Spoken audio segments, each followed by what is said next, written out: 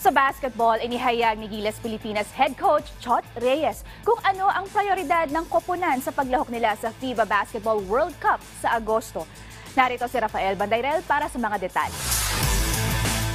Bagamat maliit lamang ang tsansa ng Gilas Pilipinas na masungkit ang titulo sa FIBA Basketball World Cup, may mas importanteng misyon ang kupunan sa paglahok dito. Ito ay ang kwalifikasyon para sa 2024 Paris Olympics. Para mangyari ito, kailangan ng Gilas na mahigitan ang kanilang mga kapwa Asyanong kupunan sa torneo. Ika ni Gilas Pilipinas head coach Chot Reyes, ito ang pangunahing punteriya ng pambansang basketball team. I want to play in the Olympics. That's that's the end all and be all of this whole thing. We want to play in the 2024 Olympics. Nilinaw din umano ni Reyes sa mga manlalaro na buong loob na dedikasyon ang inaasahan niya mula sa mga ito.